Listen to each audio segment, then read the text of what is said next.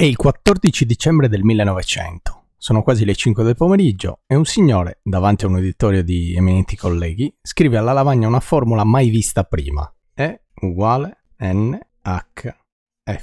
Quattro semplici lettere. È il risultato dello studio dell'emissione del corpo nero, che è un modello teorico che permette di descrivere tutti i corpi che assorbono la totalità dell'energia che ricevono e riscaldandosi emettono radiazione elettromagnetica, cioè energia luminosa, luce insomma. Gli astanti rimangono sbalorditi, perplessi, qualcuno accenna a un sorriso beffardo, il relatore però li tranquillizza. Dice non vi preoccupate, è solo un artificio matematico. Le ultime parole famose. Il relatore ovviamente è il fisico Max Planck, che è qui nella foto, la formula che ha scritto è l'inizio della rivoluzione quantistica. Lo chiameranno il rivoluzionario riluttante. Non il possesso della verità, ma la lotta vittoriosa per conquistarla è ciò che fa la felicità. Nasce nel 1858 in Germania, vive abbastanza a lungo per vedere il crollo dell'impero prussiano, la prima guerra mondiale, l'avvento del nazismo, addirittura per aver difeso Einstein viene soprannominato l'ebreo bianco e morirà poco dopo aver compiuto 90 anni dopo la fine della seconda guerra mondiale. Rampollo di una famiglia di giuristi e teologi, quindi famiglia importante, carattere tranquillo, pacifico. Si iscrive alla facoltà di fisica anche se glielo avevano sconsigliato perché gli dissero non c'è niente da scoprire e lui forse proprio per quello decide di iscriversi a fisica. Quindi diciamo un rivoluzionario suo malgrado, sfortunatissimo nella vita familiare eh, perde la, nel 1909 perde la moglie, eh, amatissima fra l'altro. Poi durante il primo conflitto mondiale perde il primogenito, le sue due figlie gemelle, perché ebbe due figlie gemelle, la prima morì di parto e la seconda si prende cura del nipotino, si innamora del cognato vedovo, si sposano e anche lei muore di parto, rimane incinta e anche lei muore di parto. Infine il quarto figlio viene coinvolto in una congiura che mirava ad assassinare Hitler e quindi viene giustiziato. Insomma, l'unico figlio che gli sopravviverà è l'ultimo genito Hermann, molto amico di Einstein, tanto che da spingerlo ad accettare una cattedra all'Università di Berlino, cioè è stato Planck a convincere Einstein a trasferirsi a Berlino e addirittura teoria della relatività, questo nome così importante, lo darà proprio Planck. Ma perché la costante che porta il nome di Planck è così importante, tanto che meri- può meritare l'appellativo di costante fondamentale del microcosmo ed è oggettivamente la base della meccanica quantistica, eh, cioè la teoria più sconvolgente del microcosmo, no? la, mm, è, è, comunque una delle teorie fisiche più sconvolgenti che ci siano, più sconvolgente persino della relatività. In poche parole, la formula di Planck ci dice una cosa: i modelli che erano stati creati que- fino a quel momento di fisica prevedevano che l'energia fosse una grandezza su cui si basa tutta la fisica classica. Tra l'altro energia è la capacità di compiere un lavoro come definizione, eh? capacità di compiere un lavoro. E quindi l'energia fino a quel momento la si riteneva una grandezza continua e quindi la si studiava esattamente come si studiano tutte le funzioni continue, limiti, derivate, integrali e quant'altro da esso conseguente, che permettevano di descrivere praticamente tutto il cosmo conosciuto. Quando Planck scrive questa, questa formula fa un salto, o addirittura forse si può vedere meglio qui, fa un salto notevole. Perché? Eh, perché è come dire, che ne so, che se io sto viaggiando a 10 metri al secondo e poi accelero e mi porto a 11 metri al secondo, faccio per dire se questa è la velocità, nel passaggio da 10 a 11 metri al secondo passerò tutti gli intervalli presenti, gli infiniti intervalli presenti tra 10 e 11 metri al secondo. Non è che per esempio 10,55 non lo faccio, per esempio 10,792 non lo faccio, faccio tutti i passaggi, no? O anche se, se devo salire o scendere un, una discesa, se io sono qui e arrivo fino a qui, eh, beh, eh, tutte le altezze che ci sono da lì fino a su le, le posso percorrere. Non c'è un'altezza che, che ne so, se vado, se qua sono a 20 metri, qua sono a 30 metri.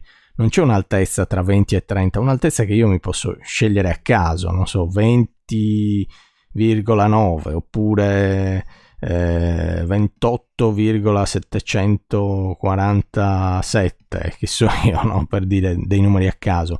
In teoria io sono passato in tutte queste altezze per arrivare da 20 a 30 metri.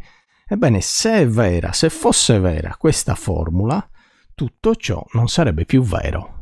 Cioè, eh, il mio, anche il mio stesso muovermi da qui sarebbe un muovermi a scalini. Gli scalini sono talmente piccoli che io non li vedo, ma ci sono. Quindi non posso in realtà muovermi da 20 a 30 metri facendo tutte le altezze che sono presenti in questi 10 metri di dislivello. Non posso mai scendere sotto una certa misura. E se volete trasferire questo discorso all'energia, l'energia ha un minimo che è proprio dato da questa formula, e il minimo, questo è un minimo sotto il quale non si può andare. Quindi la costante di Planck è una sorta di, di base sotto la quale non si può scendere. H uguale 6, circa 6,63 per 10 alla meno 34 joule per secondo. Pensate che se H fosse solo un pelo più piccola, noi saremmo carbonizzati da un'emissione di raggi ultravioletti o di, addirittura di raggi X, addirittura gamma.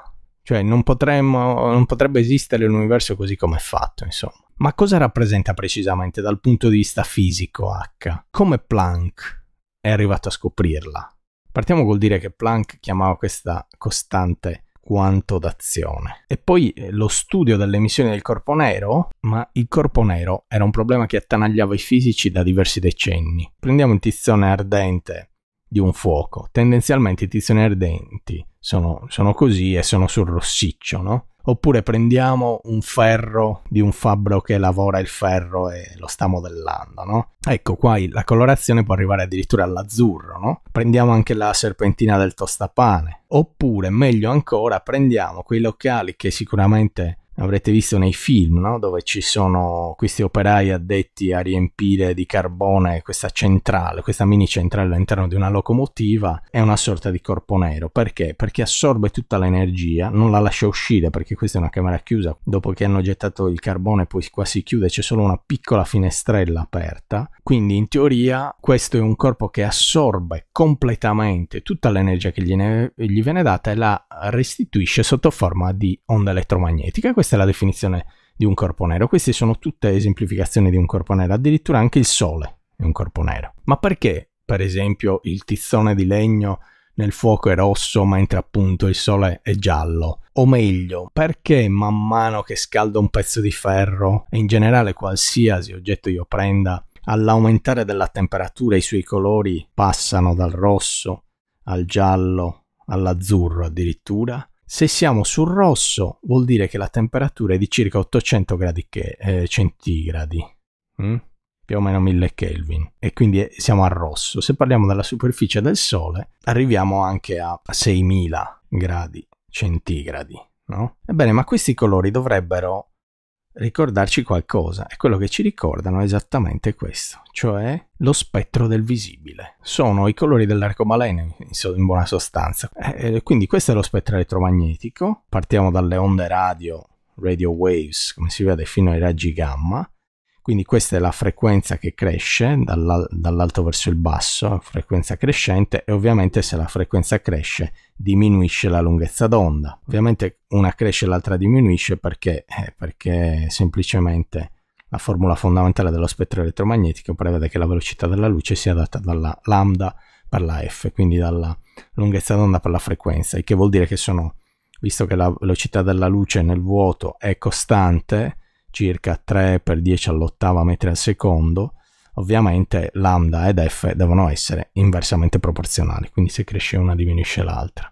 Questi 6.000-8.000 eh, gradi del giallo, mentre erano solo 800 quelli del rosso, eh, devono essere collegati in qualche modo a questa roba qua. Cioè il rosso ha una frequenza più bassa e una temperatura più bassa, mentre man mano che io scendo nello spettro elettromagnetico, quindi aumenta la frequenza, eh, l'azzurro ha una più alta frequenza. C'è uno stretto legame tra lo spettro elettromagnetico e la temperatura tanto che i fisici avevano studiato il fenomeno e avevano provato a mettere su un grafico in cui c'è l'energia a tempo, poi vedremo cos'è fra un attimo, e qui vediamo la frequenza, questo è il cosiddetto diagramma del corpo nero, si può vedere che le varie curve dipendono dalla temperatura, per esempio questo è 300 Kelvin e il picco dei 300 Kelvin, quindi un corpo nero scaldato fino a 300 Kelvin, emette soprattutto sul rossastro, va, va verso, anzi verso l'infrarosso, quasi rosso, ok? Questa situazione è descritta perché? Perché il picco ovviamente è quello uh, che ci dà il colore prevalente, quindi ci sono anche gli altri, ma sono in minima parte. L'area sottesa dalla curva invece è tutta l'energia. Man mano che la temperatura aumenta, ok, man mano che la temperatura aumenta, succede che il picco si sposta verso destra e quindi i colori cambiano, no? E quindi da 300 a 500 sarà più verso l'arancione, giallo, eh, poi 1200 si sposta sempre di più, eccetera, eccetera. Quindi queste curve ci stanno dicendo che più mi sposto, più aumento l'energia, più fornisco energia al corpo nero, più il suo picco si sposterà verso destra, no? E quindi posso calcolare poi eh, sperimentalmente qual è la frequenza emessa dal corpo nero a seconda della temperatura che viene fornita. Fin qua non c'è nulla di strano. E quindi i problemi sono i modelli che provano a rendere conto di questi grafici. Questi sono grafici sperimentali. Eh? Quali sono i modelli che fino a quel momento funzionano? Ce ne sono due fondamentalmente. Il primo modello teorico utilizzato è quello di, di Jeans Relay. Il modello di Jeans Relay è quello che prova a descrivere il, il, fenomeno appena studiato qua appunto da questi grafici sperimentali, ma riesce, come si può vedere dal grafico, a descrivere solamente le basse frequenze perché poi ha un andamento di questo tipo, poi qua tenderà all'infinito, la cosiddetta catastrofe ultravioletta tecnicamente. Quindi quando la frequenza si sposta verso destra, quindi verso gli ultravioletti, il modello ideato da Jeans Relay non riesce più a descrivere la situazione. Viceversa, il modello di Wien, che è questo qui, che viene subito dopo il modello di, eh, di Jeans Relay, Wien è un altro fisico chiaramente, descrive perfettamente quello che succede ad alte frequenze, ma il suo modello non riesce a spiegare quello che succede a basse frequenze. Quindi i due modelli messi insieme descrivono perfettamente il fenomeno, se vogliamo così, ma bisogna usarne uno per le alte frequenze e uno per le basse frequenze. E, e questo era un problema, nel senso che ovviamente per i fisici è molto importante trovare un'unica legge e qua proprio subentra Planck. Planck ha un'idea, che è appunto un'idea bizzarra, se vogliamo, ma poi si rivelerà un'idea che funziona, diciamo così.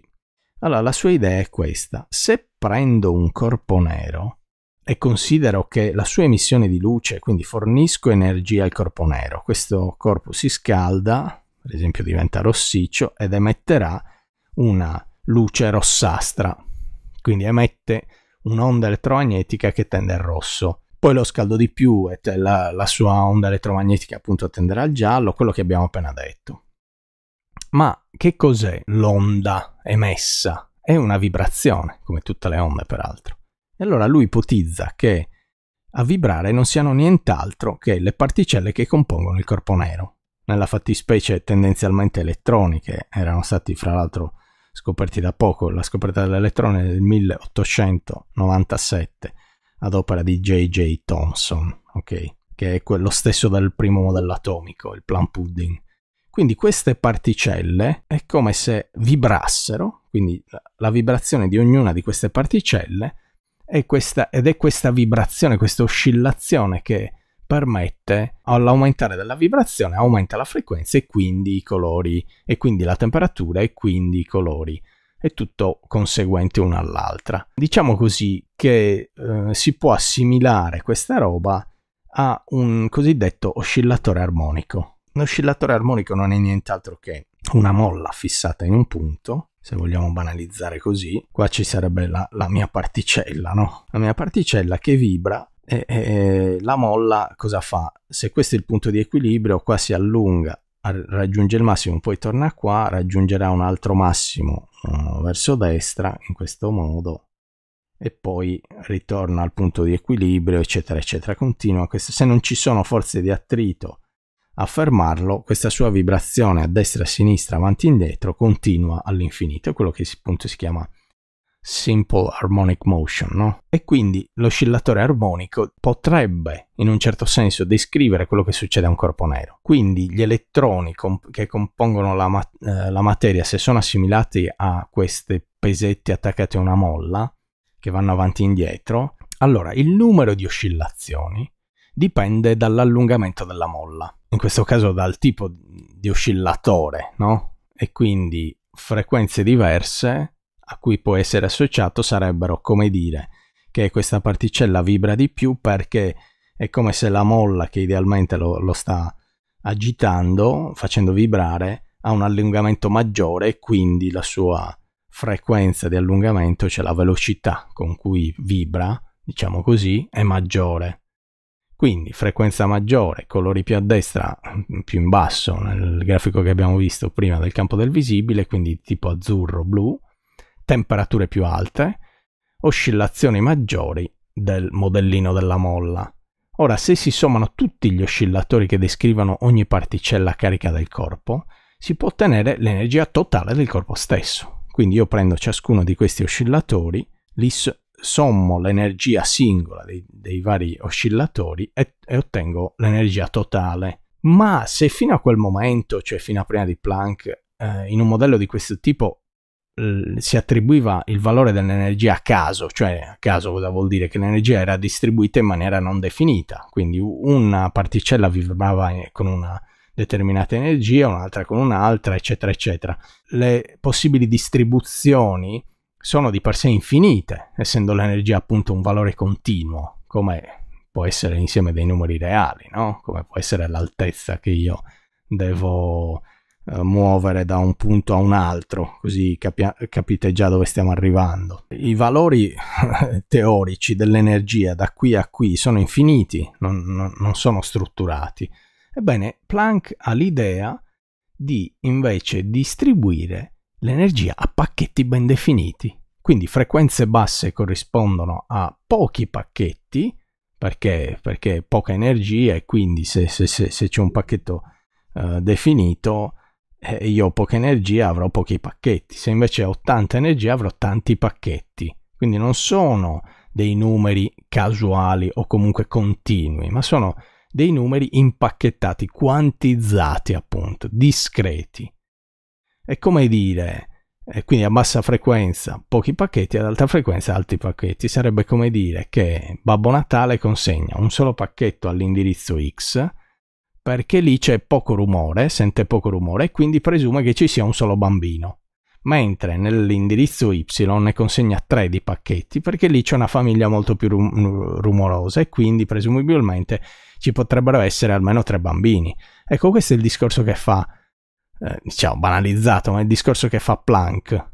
Cioè Planck associa alla frequenza, quindi all'energia emessa, un tot di pacchetti di energia quindi sostanzialmente sta dicendo che è meglio lavarsi facendosi la doccia piuttosto che facendosi il bagno. Oppure, eh, come dire, che è meglio suonare il pianoforte e non suonare il violino. Perché? Perché il pianoforte permette solo note discrete. Io non posso suonare, eh, che ne so, tra il sol e il la, io ho solo un altro semitono. Quindi o suono il sol, o suono il sol diesis, o suono il la non ci sono alternative in un, in un piano di un pianoforte, no? Mentre in un violino il dito lo posso mettere teoricamente ovunque tra il sol e il la, e quindi ecco perché si stecca facilmente col violino.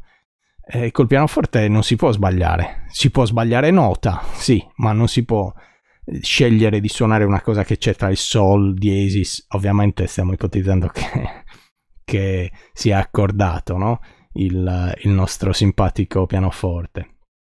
Quindi è come se Planck ci stesse dicendo la musica che si suona nel microcosmo è una musica pianistica, pianistica e non violinistica. Non a caso il signor Planck era un ottimo pianista, sarà un caso, non, non lo sappiamo. Cosa si intende però per microcosmo?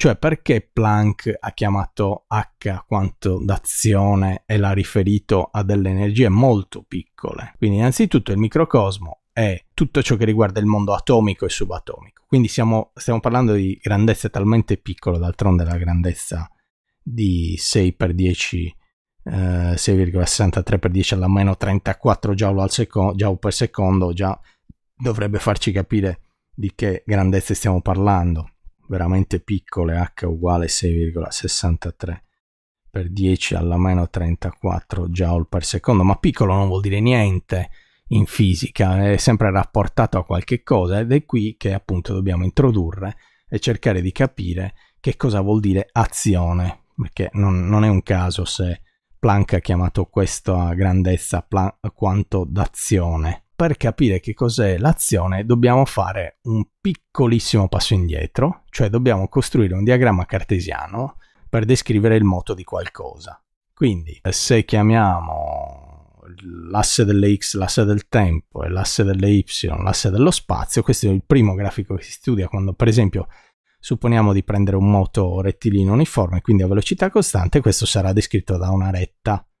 Ovviamente se il moto invece è fermo, sarà una retta parallela all'asse delle x, perché il tempo passa ma lo spazio rimane lo stesso. Invece se è una retta, eh, io so che mi sto muovendo e ovviamente più la retta è inclinata, maggiore sarà la velocità a cui mi muovo. Poi l'altro è il grafico velocità-tempo. Ecco, in, nel grafico velocità-tempo invece è, è proprio così eh, il, diciamo se questo era un moto rettilineo uniforme, anche questo è un moto rettilineo uniforme, che vuol dire semplicemente a velocità costante. V uguale costante e poi V uguale costante, una retta nel piano ST eh, e nel piano VT. Tendenzialmente ci si ferma qui. Cosa succede invece? Eh, ovviamente l'accelerazione sarà descritta, prendiamo un altro colore, l'accelerazione sarà descritta quindi questo è un A uguale costante da una retta inclinata nel diagramma VT. Ma rimaniamo nel moto, diciamo, eh, cerchiamo di tenere un moto rettilineo uniforme che è la base da cui poi si può descrivere tutto. Anziché utilizzare un grafico ST o VT, cambiamo e eh, cerchiamo di costruire un grafico velocità spazio, cioè nell'asse X usiamo lo spazio anziché il tempo. Da notare che in questi grafici qui, per esempio, mm, per esempio il grafico questo velocità-tempo, che è quello che più si avvicina a quello che stiamo per fare, una velocità negativa, quindi sotto l'asse delle x, cioè l'asse del tempo, è una velocità semplicemente in direzione opposta a quella a cui stavo andando, visto che la velocità è spazio fratto tempo ed è un vettore, chiaramente la, il verso del vettore quindi verso dove sto andando determina anche il segno della velocità. Se il verso positivo è verso destra, vuol dire che qui sto andando verso destra. Se il verso positivo è verso sinistra, vuol dire che qui sto andando verso sinistra, quindi il verde è verso sinistra. Ora, in un grafico invece di questo tipo, la cosa cambia leggermente. Perché? Perché io posso rappresentare un moto rettilineo uniforme in questo modo, ma se poi c'è un cambio di direzione, sì, è ovvio che devo scendere sotto, diciamo, devo andare qui. Se questo, diciamo, questa è la velocità v quale muo- alla quale mi muovo, no? x metri al secondo, questa è v di x, hm? chiamiamola così. E questa sarà meno v di x. Ma in questo caso la rappresentazione non è di due rette che vanno tutte e due nella stessa direzione, cioè mentre nel grafico velocità-tempo quello che succede se io sto viaggiando a questa velocità, a un certo punto cambio direzione, la, il mio grafico lo dovrò rappresentare così, perché qui stavo andando in, qui ho una velocità positiva, quindi in questa zona stavo andando a destra, in questa zona sto andando a sinistra. Quindi per esempio una pallina che rimbalza tra due pareti. Se la pallina va in questa direzione, questo è il grafico che la descrive. Se rimbalza e torna indietro, se fa così, il grafico che la descrive invece è chiaramente quest'altro. Quindi questo è il secondo movimento. Il tipo di rappresentazione che posso fare in diagramma VT è questo qui. Ma invece, se la stessa situazione, quindi una pallina che rimbalza a destra e poi torna a sinistra e poi continua a rimbalzare, non è nient'altro che una, una pallina che va verso destra, poi improvvisamente cambia direzione, che vuol dire che qui ci sarà un salto quasi istantaneo e tornerà a viaggiare verso sinistra, visto che questo è lo spazio, qua davvero mi sto rivolgendo a sinistra. Quando arriverò poi a questo punto della parete, eh, la, la pallina di nuovo rimbalzerà e quindi salirà su e quindi in questo modo si riprende il giro. Questo è il, gra- questo rettangolo non è nient'altro che il grafico di una situazione di che cosa? Di una particella. Prima ho, fatto, ho detto una pallina, ma se vogliamo un esempio realistico, prendiamo una molecola o un atomo no? di un gas all'interno di una parete dove è stato fatto il vuoto spinto quasi o comunque dove la particella presumibilmente potrebbe non scontrarsi con nessuno, allora questa particella farà ding dang, cioè rimbalza a destra e a sinistra in continuazione, quindi fa questa sorta di vibrazione che infatti di fatto è proprio una vibrazione. Ebbene, ovviamente la particella ha una massa, quindi tendenzialmente anziché usare la velocità useremo la quantità di moto Q che chiameremo m per v, hm? cioè massa per velocità, ma poco cambia a livello concettuale, quindi questa qui la chiameremo q di x e questa meno q di x. E invece, eh, diciamo così, se il punto di equilibrio, cioè metà della parete eh, è, è L, e quindi L ed L, tutta questa lunghezza, questa sarà L e questa sarà meno L, ok? Ebbene, questa rappresentazione grafica, in questa rappresentazione grafica, l'area determinata da questa molecola che oscilla rimbalzando a destra e a sinistra dalle due pareti è proprio quella che i fisici chiamano azione. Cioè l'azione non è nient'altro che l'area di un oscillatore, perché questo poi lo possiamo vedere, adesso lo vediamo, anche nell'oscillatore armonico non è proprio un rettangolo, ma il concetto è identico, è l'area creata da un rettangolo da, di una particella che rimbalza a destra e a sinistra di moto, ovviamente in questo caso stiamo parlando di moto unidimensionale, ma poi si può estendere il concetto in generale, e se ci facciamo caso, io posso calcolare l'area come? Facendo base per altezza, ma la base, cioè questa grandezza qui, non è nient'altro che 2L, perché da 0 a più L è lungo L, da 0 a meno L è lungo L, quindi tutto è 2L. L'altezza invece sarà data da più Q, quindi Q di X e Q di X, quindi sarà Q e Q, e quindi saranno 2Q, quindi 2L per 2Q. Quindi l'area, che in genere si identifica con la lettera J, che infatti è proprio l'azione, uguale J, si può calcolare eh, in questo modo qui e se ci fate caso le unità di misura sono che cosa? L si misura in metri, metri, quindi. E invece Q, che è la quantità di moto, è la massa, chilogrammi per la velocità, metri al secondo. Ora, se io ci faccio caso, questa è chilogrammi, la posso scrivere anche come chilogrammi per metri quadri al secondo. Ma questa grandezza potrebbe ricordarmi l'unità di misura dell'energia cinetica. L'energia cinetica è un mezzo di m per v al quadrato. Quindi l'energia cinetica è chilogrammi, la massa per la velocità al quadrato, che sarebbe metri quadri su secondo quadro.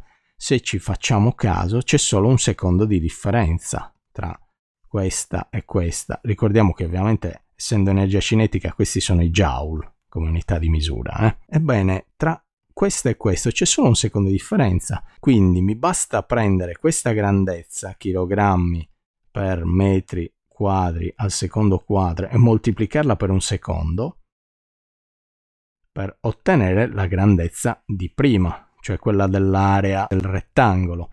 E quindi questa non è nient'altro che joule per secondo, perché se ho moltiplicato per S quello che era in fondo uh, la, il joule, abbiamo scoperto che la J, cioè l'azione, si misura in joule per secondi. Ma qual è l'unità di misura della uh, costante di Planck? Esattamente joule per secondo. Si può capire che h è una grandezza fisica ben precisa, cioè è l'area eh, descritta in un grafico velocità spazio di una particella che vibra. Qualcuno però potrebbe obiettare giustamente che Planck parlava di oscillatori armonici e non di particella che rimbalza tra due pareti. Vero, ma la questione di fondo non cambia, come vi ho detto, e infatti se consideriamo quello che ha considerato Planck, cioè appunto gli oscillatori armonici, dobbiamo considerare delle formule solo leggermente diverse. Vediamo in che senso. Utilizziamo sempre il modello della molla che vibra attorno a un punto di equilibrio, come abbiamo fatto prima, e che quindi viaggerà a destra e a sinistra. Questo è il punto di equilibrio, questa è l'estensione massima. Noi sappiamo che sempre nel caso ovviamente ideale, quindi senza attriti, quindi appunto il moto armonico semplice di cui parlavamo, il principio di conservazione dell'energia coinvolge oltre alla velocità anche la costante elastica di allungamento della molla, cioè noi sappiamo che principio di conservazione dell'energia ci dice che l'energia iniziale deve essere uguale all'energia finale, perché se non ci sono dispersioni chiaramente. Possiamo scrivere che la somma delle energie cinetiche di, di, di tutto il processo di avanti e indietro più l'energia potenziale elastica deve essere costante data dall'energia totale. Ma noi sappiamo che l'energia cinetica è un mezzo di m per v al quadrato, mentre eh, l'energia eh, potenziale elastica è data dalla costante elastica per x al quadrato, dove x è l'allungamento della molla, un mezzo, anche qui, un mezzo di k per x al quadrato. In realtà sarebbe il caso di scrivere meglio questa in forma di quantità di moto, cioè sapendo che q è uguale a m per v, questo qui diventa semplicemente q quadro diviso 2m più un mezzo k x al quadrato ci dà l'energia totale. Ok, questa è la formula da cui possiamo partire. Se ci facciamo, se dividiamo tutto per E, dividiamo tutto per E, eh, sarebbe l'energia totale, eh, ed è, questo ovviamente si semplifica, qua avrò 1, e qua ho una situazione di questo tipo q quadro fratto 2me più k x quadro fratto fratto 2e o meglio posso portare anche il k qui sotto scriverla così perché la voglio scrivere così uguale 1 perché scritta in questo modo questa è esattamente l'equazione di un'ellisse se ci facciamo caso x al quadrato fratto a al quadrato più y al quadrato fratto b al quadrato. Uguale 1. Questa è l'equazione fondamentale di un'ellisse e quindi possiamo in, in buona sostanza descrivere l'oscillatore armonico nel diagramma SV, anzi Q, quantità di moto, spazio, esattamente come un'ellisse in cui questi punti ovviamente e quindi i punti di massimo sarebbe la mia B, no? La mia B dell'ellisse e sotto avremo meno B. Invece questo è A e questo è meno A. La B sarà la radice di 2ME, mentre la A sarà uguale alla radice di 2E su K. Perché se guardate il parallelo, questo è A quadro e questo è B quadro, quindi estraete la radice ottenete queste due grandezze. Ma l'area dell'ellisse si trova facendo cosa?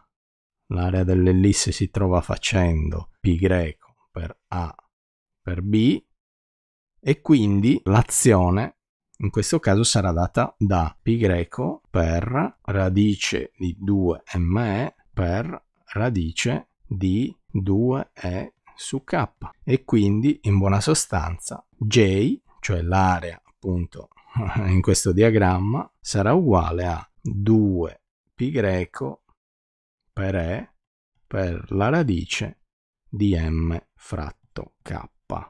Ma siccome noi sappiamo che in un oscillatore armonico omega è uguale a 2π greco su t, dove t è il periodo, omega è la velocità angolare, quindi la, la, la velocità di oscillazione, e questo è uguale a k su m, allora possiamo scrivere che t è uguale da qui a 2π greco fratto la radice di k su m. E quindi, unendo questo che abbiamo appena detto con questo che abbiamo appena detto, possiamo scrivere che t è uguale a 2π radice di m fratto k e quindi J non è nient'altro che l'energia per il periodo, ovvero esattamente quello che ha tirato fuori Planck, cioè J uguale il periodo è l'inverso della frequenza, T uguale 1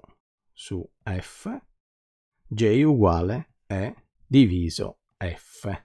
E da qui possiamo concludere che E è uguale a J per F, ovvero la nostra J che era l'area di cui parlavamo poc'anzi, cioè la nostra azione esattamente H nel microcosmo. Possiamo anche dimostrare una serie di cose, fra cui il teorema, il principio di indeterminazione di, di, di Heisenberg. Perché? Perché se questa diventa, se J in questo caso come ha supposto Planck, diventa l'area più piccola che io posso misurare qui dentro. Se, se quest'area più piccola è appunto la mia H, ebbene, ovviamente eh, se l'H è data da pi greco per A per B, quindi nella piccola ellisse, nella mini ellisse, quindi la piccola A che è la, il, semiasse maggiore più piccolo e il semiasse minore della, dell'ellisse piccola, diciamo così, se questa è A per B, eh, ma A no, non rappresenta nient'altro che la posizione mentre B non rappresenta nient'altro che la quantità di moto, cioè la velocità in un certo senso, e quindi vediamo che se h deve essere un minimo, se h deve essere il minimo costante, a questo punto io posso dire che se cresce A deve diminuire B e se cresce B deve diminuire A, cioè l'indeterminazione rispetto alla posizione o alla quantità di moto della particella. Vi ricordo che il principio di indeterminazione di Heisenberg dice che se eh, misuro con la massima precisione la posizione non posso conoscere con... Eh, devo accontentarmi di una bassa precisione nella misura della quantità di moto e viceversa, ma qui proprio si vede che è intrinsecamente descritto da questa situazione, cioè se l'area minima che io posso valutare è h, cioè la costante di Planck, allora se io aumento la precisione nella misurazione della posizione, in, cioè di A, quindi nel parametro del calcolo dell'area dell'ellisse, B deve diminuire e viceversa. Quindi possiamo concludere ragionando sul fatto che, eh, sul, se volete, sulla, sull'ordine di grandezza della costante di Planck. Cioè, siccome l'ordine di grandezza abbiamo detto è 10 alla meno 34 joule per secondo, ordine di grandezza di h della costante di Planck, eh, su quale scala questa roba diventa valida, perché chiaramente se io prendo un pallone da calcio non ha più senso, no? Su scale grandi. Il professor Battimelli che giustamente di- dice che l'analogia migliore è quella delle dune nella sabbia, se io le dune le guardo da lontano e devo studiare il loro movimento, per me sono come delle funzioni continue, ma se invece mi avvicino alla duna e prendo una manciata, sc- mi accorgo che sono fatte di piccoli granelli. La stessa cosa vale per l'energia e per tutte le grandezze che nel microcosmo quindi saranno granulari e non sono continue, mentre nel macrocosmo posso continuare a usare tutte le leggi della fisica classica perché il macrocosmo è fatto di... Mm, cioè è, descri- è descritto perfettamente da grandezze continue. Non, non, neanche vedo questo 10 alla meno 34 nel macrocosmo. Diciamo anche questa cosa, la, la, la fisica è una scienza che non descrive perfettamente la realtà, ma che crea dei modelli che con approssimazione ragionevole provano a descrivere la realtà. Bohr diceva che la fisica non è la realtà, se si vuole osservare la realtà bisogna aprire la finestra e guardare fuori. Quindi sono delle ragionevoli, intelligenti, se preferite, approssimazioni. Comunque, se vogliamo fare un esempio di scale e del fatto che questo trucchetto, appunto artificio matematico, aiuti a capire, a descrivere delle cose del microcosmo, Basta pensare che nel caso di un pianeta intorno al Sole, se prendiamo il moto di un pianeta intorno al Sole, per esempio della Terra intorno al Sole, l'azione in questo caso, quindi la J di un pianeta intorno al Sole, che è anche un moto armonico, come potete intuire, no? perché è un moto che si ripete nel tempo, è qualcosa tipo 2π per R per M per V.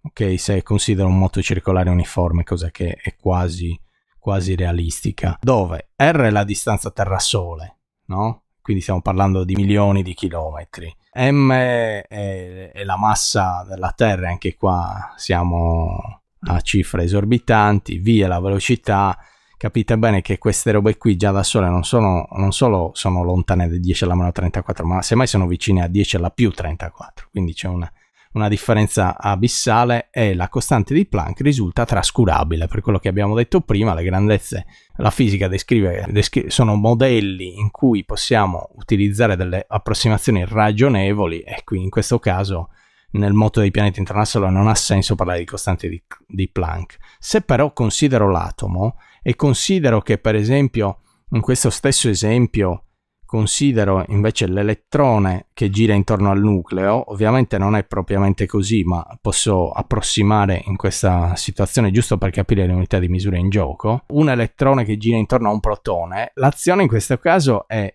sempre 2πr per m per v, ma attenzione perché il raggio è circa 10 alla meno 10 metri, no? Eh, la massa più o meno è dell'ordine di 10 alla meno 30 circa chilogrammi, la massa di un atomo, e la velocità è di circa 10 alla sesta metri al secondo. Ebbene, se fate i calcoli, 10 alla meno 10 per 10 alla meno 30 fa 10 alla meno 40, per 10 alla sesta fa 10 alla meno 34, che è esattamente lo stesso ordine di grandezza della costante di Planck. Ecco perché all'interno dell'atomo H non è più trascurabile.